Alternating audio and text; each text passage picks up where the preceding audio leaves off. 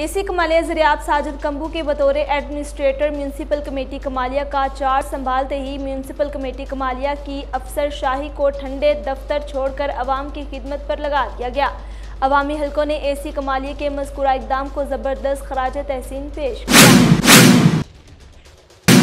AC Kamalia Zaryab Sajid Kamboh एक इंतहाई मेहनती दयानतदार, मुहब वतन और गरीब, परवा अफिसर हैं। ये अक्सर शदीद गर्मी में आवाम की फलाह बहबूद के लिए फ़ील्ड में नज़र आते हैं।